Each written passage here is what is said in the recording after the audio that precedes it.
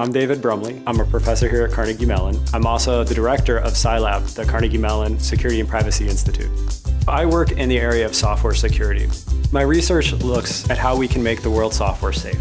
So many people think things like antivirus will keep them safe from the bad guys. But really all antivirus does is detect when the bad guys are already on your computer. We want to make it so they're never there. And the way we do this is we look at the software that you're using and we look for security vulnerabilities. We try to find them and we try to fix them automatically. For someone to trust their computer, they have to know that it's safe. They have to know that no one's on it. And so everyone, of course, is worried about attackers breaking into their system. And so our work really like looks to make computers as safe as the airplanes that we ride on or the cars that we use. Unfortunately, computer security is a pretty new field, and so there's this huge demand for computer security professionals that can't be filled. And so I spend a lot of my time doing outreach to try to build up that field. And as part of that, we do activities such as running picoCTF, a high school hacking competition where every year we get about 10,000 high school kids to participate and we give away $50,000 in scholarship. It's actually the largest by number of people playing and prize pool in the world.